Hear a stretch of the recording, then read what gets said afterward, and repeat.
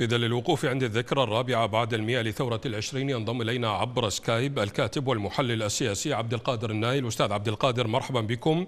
بداية يعني قبل الدخول في بيان هيئة علماء المسلمين أه، كيف تنظرون للحملة الطائفية التي تستهدف رموز ثورة العشرين والمقاومة العراقية وقت ذاك؟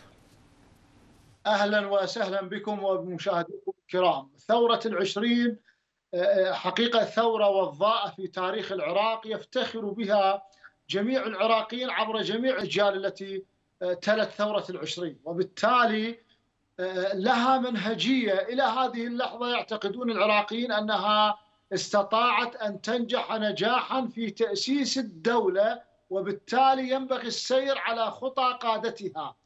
ولذلك عندما يتجاوز هؤلاء على أحد أكبر رموز ثورة العشرين وهو الشيخ ضار المحمود الزوبعي. ذاك لأن الشيخ ضار استطاع قراءة مشروع الاحتلال الإنجليزي وهو توطين الهنود في العراق ليكون وطنا بديدا لهم. وبالتالي عمل على تنسيق الجهود ما بين عشائر شمال العراق وعشائر جنوب العراق وعشائر غرب العراق من أجل الوقوف بوجه هذا المشروع الخطير ولا سيما وجود الاحتلال وبالتالي ضرب الاحتلال ومقاومته سيفشل هذا المشروع. فاستطاع أن يكتب أو أن يكون سببا رئيسيا في كتابة ميثاق عشائري عراقي وطني. وبالتالي هؤلاء الذين الطارئين الذين يتجاوزون على الشيخ ضار المحمود لأنهم حقيقة إما أحفاد هؤلاء الهنود أو المعدان الذين استوطنوا في العراق وبالتالي يرون أن الشيخ قد حرم رحمه الله قد حرم هؤلاء من أن يقدم العراق أو أن يقدم الإنجليز العراق كوطن بديل للهنود بعد أن آه، استأجر أو آه، أصبح الهنود يخدمون في جيش الاحتلال الإنجليزي وفي تدمير المنطقة العربية لأنهم أصبحوا كمرتزقة يعتمد عليهم الجيش البريطاني. أستاذ عبد القادر هيئة علماء المسلمين في العراق في بيانها بمناسبة هذه الذكرى قالت إن أبطال ثورة العشرين تناسوا اختلافاتهم وتوحدوا أمام خطر الاحتلال البريطاني. أنتم تعلمون جيدا أن نظام المحاصصة في العراق يعمل الآن على زرع الخلافات آه، آه، وزرع الطائفية بين أبناء الشعب العراقي الواحد ولكن السؤال هنا هل نجحت هذه القوى في وقف مشروع التغيير أستاذ عبد القادر؟ اولا العراق منذ آه، قديم الزمان هو فسيفساء جميلة يجتمع فيها مكونات وأطياف يمكن أن تقدم نموذجا للعالم وبالتالي لا يوجد مشكلة اجتماعية بين أبناء الشعب العراقي حتى في وقتنا هذا.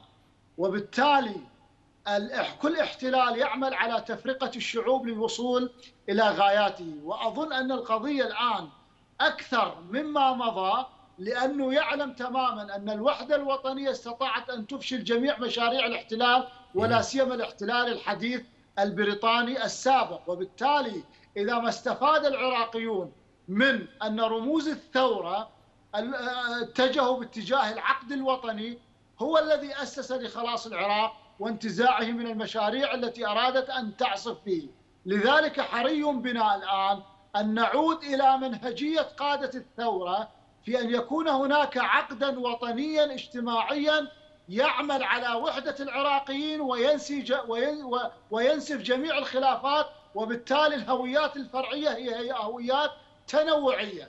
لذلك حقيقة يعزف وتدعم القوى مشروع آه، الطائفية في العراق والعزف عليه من أجل اولا تقسيم العراق. ولذلك الآن الأمريكان عندما قدموا العراق إلى كضيعه هم يستخدمون ذات الأسلوب وهنا أقصد الإيرانيين والأمريكان الذي استخدمه البريطانيين ولذلك يحاولون الآن توطين الإيرانيين وأذرعهم في العراق ليكون وطنا بديلا لكل مرتزقة إيران وما قانون التجنيس وغيره من منح الجنسية العراقية الا دليل على ذلك. ولذلك على العراقيين أن يعوا خطورة الموقف ويغلبوا الحالة الوطنية ولا ينساقوا مع هؤلاء المدفوعين والمأجورين الذين يريدون تفرقة العراق على أسس طائفية من أجل تقسيمه ومن أجل إنهاء العراق كوجود وتوطين آه، يعني أجانب بدل سكانه الأصليين فعليهم بالرجوع إلى المنهج الوطني وعليهم بالنظر إلى كيفية قادة ثورة العشرين تناسوا الخلافات المذهبية والعشائرية والاجتماعية والفوارق الطبقية واتجهوا كقلب رجل واحد بوطنيتهم وبالتالي استطاعوا أن يستعيدوا العراق وأن يجبروا الاحتلال على تأسيس أول دولة وطنية. أستاذ عبد القادر العراق يعيش اليوم آه، نفس الظروف التي أدت لانطلاق آه، ثورة العشرين، هناك احتلالات متعددة آه، جاثمة على صدر العراقيين. ولكن إلى أي مدى يمكن لهذه الظروف أن تدفع الشارع العراقي إلى الخروج بثورة تغيير شاملة كما حدث في ثورة تشرين الماضية؟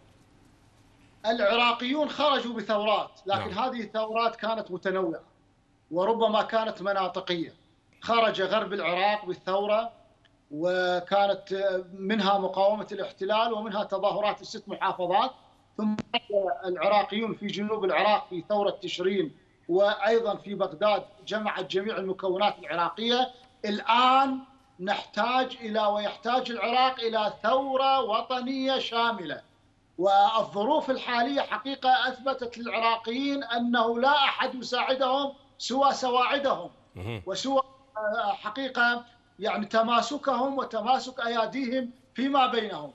وبالتالي هذا التعاضد هو الذي يفت بمشاريع الاحتلال ومشاريع آه، يعني أذنابه من أحزاب السلطة الذين يسعون إلى تدمير العراق. وبالتالي إذا ما رأينا فإن ما يتكلم به أبناء شمال العراق وأبناء جنوبه وأبناء غربه وعاصمته الحبيبة بغداد نجد أن الهموم واحدة وأن الأخطار الذي يتحدثون عنها بأنها تريد أكل العراق والعصف به واحدة.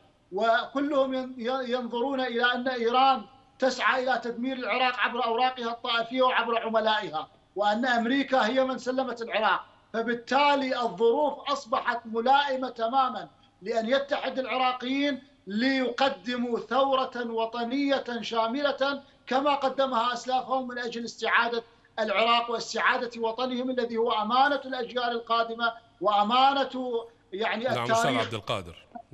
عبر سكايب الكاتب والباحث السياسي عبد القادر النايل شكرا جزيلا لكم.